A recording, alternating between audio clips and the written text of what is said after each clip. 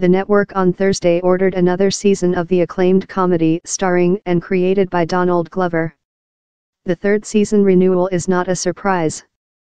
Atlanta's first season won two Emmy Awards, two Golden Globes, an AFI Award and a Peabody, in addition to other accolades. Its second season, Atlanta Robbin' season, is considered a major contender in this year's Emmy Awards, as well. The season 2 finale aired last month.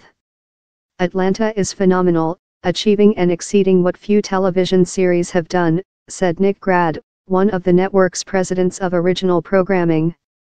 With Atlanta Robbin' season, Donald and his collaborators elevated the series to even greater heights, building on the enormous success of their award-winning first season. Atlanta returns to FX in 2019.